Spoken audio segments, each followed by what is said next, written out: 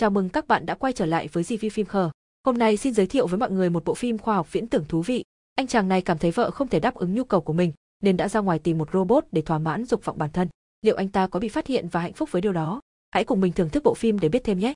Michael là một nhà phát triển trò chơi điện tử. Anh chàng đang gặp trục trặc trong mối quan hệ với vợ của mình, Nancy. Họ đang trên đường đến thăm em trai của Nancy, John, người mà họ liên tục kiểm tra vì hành vi không thể đoán trước của cậu. John có vẻ không hài lòng vì họ đến mà không báo trước, nhưng anh ấy không còn cách nào khác ngoài việc để họ vào. Cặp đôi mang đến món ăn yêu thích của cậu em trai. Khi này một người phụ nữ tên Queen xuất hiện, cô đi theo John và phàn nàn về cơn đau đầu của mình. John bảo cô ấy hãy nghỉ ngơi vì mình vẫn đang bận nói chuyện với anh chị. Nancy không hài lòng vì John chẳng kể gì về Queen, cậu nói rằng họ chỉ mới hẹn hò mà thôi. Trong khi John ăn tối, Michael đề nghị xoa bóp cho Queen. Anh chợt nhận ra rằng cô không phải là người mà là một robot. Michael giật mình khẽ hét lên khiến John chú ý, vì vậy anh ta liền chạy đến để xem có gì xảy ra. John cầu xin anh rể giữ bí mật cho hai người họ. Để thuyết phục Michael đồng ý không nói ra, John đề nghị một khoản đầu tư trị giá 10.000 đô vào công ty của anh. Đêm hôm sau, Michael và John gặp nhau tại một quán bar để thảo luận về robot. John cho rằng chúng giống như những chiếc ô tô vì ai cũng có thể thuê, cho thuê hoặc mua chúng tùy thuộc vào tình hình tài chính của họ. Các robot được lập trình để người mua có thể quyết định về hành vi và tính cách của chúng. Một ngày nọ John đến gặp người bạn của mình, David. Anh bạn tiết lộ rằng bạn gái cũ của John là Diana, hiện đang hẹn hò với một robot, nhưng John cố gắng bác bỏ và không tin rằng đó là sự thật. Tuy nhiên, David chắc chắn về điều đó và nói với John rằng anh ấy sẽ tìm ra sự thật trong vài ngày tới. Tại nơi làm việc, Bella, đồng nghiệp của Michael, nhận thấy anh chàng đang gặp khó khăn trong việc tập trung. Cô ấy hỏi rằng có phải con anh có vấn đề gì không, nhưng anh ấy nói rằng mọi thứ ở nhà đều ổn. Trái ngược với điều đó, khuôn mặt của Michael thể hiện hoàn toàn khác. Đêm đó, Michael và Nancy quyết định có một buổi tối lãng mạn, họ muốn trải nghiệm những điều mới mẻ cùng với nhau. Cặp đôi sau đó đã chơi trò nhập vai để cải thiện sự thân mật, nhưng Nancy tỏ ra không hứng thú với điều đó chút nào, và đương nhiên là Michael cảm thấy vô cùng thất vọng. Nancy nói rằng họ vẫn ổn và không cần phải thử bất cứ điều gì mới, và cuối cùng cả hai kết thúc bằng việc làm tình với nhau. Nhiều ngày sau, Michael nhận ra rằng mình muốn gì đó nhiều hơn từ Nancy, nhưng cô ấy lại tỏ ra không hứng thú và không thể mang đến cho anh. Trong khi anh đang tìm kiếm điều gì đó thú vị, thì cô ấy lại thấy thoải mái và ổn định với những gì họ đang có. Sau đó Michael quyết định đến một quán bar có tên Bắt Bướm, nơi mà John giới thiệu để thực hiện nghiên cứu về robot. Đó là một quán bar tối tăm dưới lòng đất và có rất nhiều người ở đây. Một số chỉ đơn giản là trò chuyện trong khi những người khác lại thân mật với nhau. Người ta không thể phân biệt robot và con người vì sự giống nhau đến kỳ lạ. Michael thấy mọi người từ các tầng lớp khác nhau của cuộc sống. Anh ta bỏ đi vì khó chịu và nghĩ rằng mình không thuộc về nơi này. Trên đường ra ngoài, người phục vụ hỏi tại sao anh ta muốn rời đi sớm như vậy, và Michael nói rằng anh ta chỉ đến vì tò mò. Ông ta mời Michael đồ uống và bất chấp sự bối rối của anh. Khi này người phục vụ nói với Michael rằng, robot không phải chỉ để thân mật mà có thể là một người bạn đồng hành. Michael cảm thấy bất căng thẳng hơn và lướt qua màn hình, anh muốn xem qua các tính năng có sẵn để tùy chỉnh robot. Đúng lúc này anh nhận được tin nhắn từ Nancy, và Michael nhận ra mình đang làm điều có lỗi với vợ. Sau đó anh rời quán bar và trở về với gia đình của mình. Trong khi đó, John đến chơi nhà của David, anh chàng được xem bức ảnh của Diana và Cameron và hai người họ hiện đã chính thức hẹn hò với nhau. David giải thích rằng Diana chọn Cameron chứ không phải John, vì robot được lập trình để trở nên hoàn hảo và đó là điều cô ấy muốn. Khi này John chợt nảy ra ý tưởng rằng mình vẫn có thể cứu vãn mối quan hệ với Diana bằng cách cố gắng trở nên hoàn hảo và tốt lên từng ngày.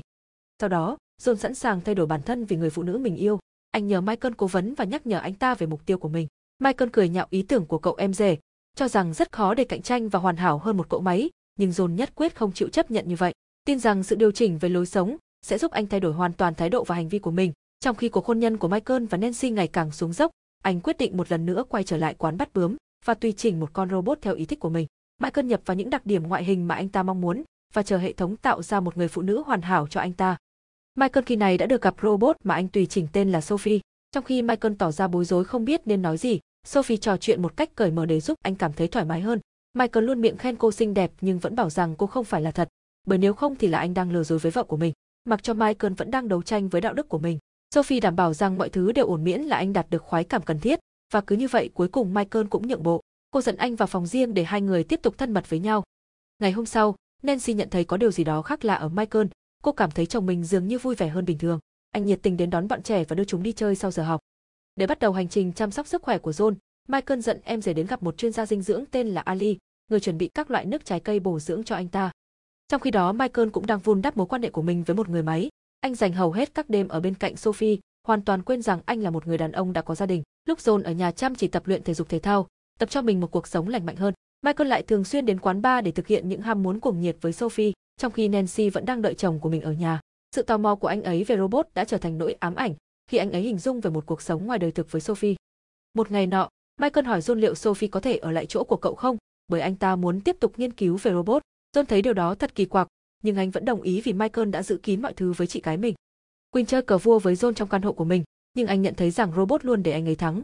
John bình luận về điều này, nhưng Quinn nói rằng cô được thiết kế để anh ta luôn chiến thắng. Anh bảo rằng mình cần phải được thử thách để trở nên giỏi hơn, nhưng Quyên nói rằng cô sẽ không thể đánh bại nếu thi đấu hết sức. Những lời của cô khiến John suy ngẫm về hành trình hoàn thiện bản thân của mình. Đêm đó John gặp David tại một quán bar, nhưng lần này anh ta từ chối uống rượu. David nhận thấy những thay đổi của anh chàng và nhận xét rằng đó không phải là con người thật của anh mà chỉ là thay đổi hành vi mà thôi. Họ tranh luận vì John tin rằng anh ấy đang trở nên tốt hơn, không chỉ cho Diana mà cho chính bản thân anh ấy. Trong khi đó, Michael trở nên mất tập trung với công việc. Bella gọi điện để hỏi thêm báo cáo sắp tới, nhưng Michael đang mải mê dành thời gian bên Sophie, cảm thấy rằng mình có thể đang làm gián đoạn điều gì đó. Bella xin lỗi và nghĩ rằng Michael đang ở cùng Nancy. Ngày hôm sau, Nancy buộc tội chồng ngoại tình với một người phụ nữ khác. Hóa ra Bella đã xin lỗi cô vì đã làm phiền hai người vào ngày hôm trước.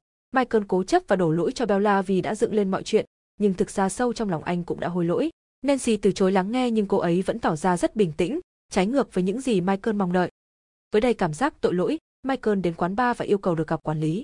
Người phục vụ làm theo và đưa anh ta đến một nhà kho. Hóa ra ông ta chính là người quản lý của nơi này.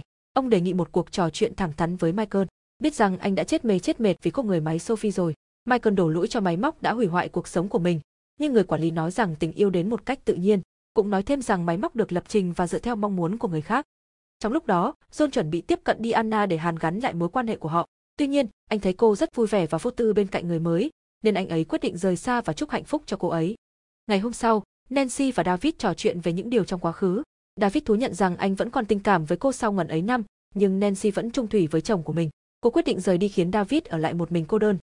Sau một thời gian, Michael quyết định nói cho Nancy biết về chuyện của anh với Sophie.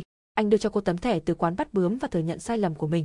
Cô ấy vô cùng thất vọng và xa lánh anh trong nhiều ngày, không tin rằng chồng mình đã lừa dối mình chỉ vì một robot. Cuộc hôn nhân của họ đang trên đà đổ vỡ. Phía của John, để loại bỏ bất cứ điều gì hạn chế sự phát triển của bản thân, anh đã giao cô nàng robot Queen cho David. Anh quyết định ký hợp đồng cho phép David toàn quyền sở hữu cô. Nhiều tháng tiếp theo, Michael tiếp tục mối quan hệ của mình với Sophie. Dù vẫn nhớ các con của mình, nhưng anh ấy vẫn muốn dành nhiều thời gian bên cạnh Sophie. Một đêm, họ tình cờ ngồi cạnh cặp đôi Diana tại một nhà hàng gần đó. Cô nói với Michael rằng không có gì xấu hổ khi yêu một người máy. Theo cô, robot là một người bạn đồng hành nếu không có ai để chia sẻ cuộc sống. Một tâm hồn cởi mở là tất cả những gì cần thiết để hạnh phúc. Sau bữa tối, Michael ngay lập tức lái xe về nhà và buộc Nancy phải gặp anh tại gara xe của họ. Ngồi trong xe cùng Sophie càng khiến Nancy tức giận hơn. Anh thuyết phục rằng vẫn còn hy vọng hàn gắn của hôn nhân của họ. Khi Nancy từ chối lắng nghe anh ta, Michael tiết lộ rằng anh biết những gì đã xảy ra giữa cô và David nhiều năm trước. Lời nói của anh ta ngay lập tức khiến Nancy im lặng, và Michael nói thêm rằng anh ta xây dựng Sophie vì anh ta khao khát tình yêu. Họ thảo luận về những khó khăn và gánh nặng kể từ khi họ cảm thấy căng thẳng, nhận ra rằng tất cả những gì họ thiếu là can đảm yêu cầu những gì họ muốn từ nhau. Michael gợi ý rằng Nancy nên có robot để đáp ứng nhu cầu của mình, và cô ấy không hoàn toàn phản đối điều đó. Cặp đôi đạt thỏa thuận để giải phóng nhau khỏi sự phán xét về những gì họ muốn với tư cách là vợ chồng và cha mẹ. Bộ phim đến đây là hết rồi. Đừng quên để lại một like và bình luận cho mình nhé.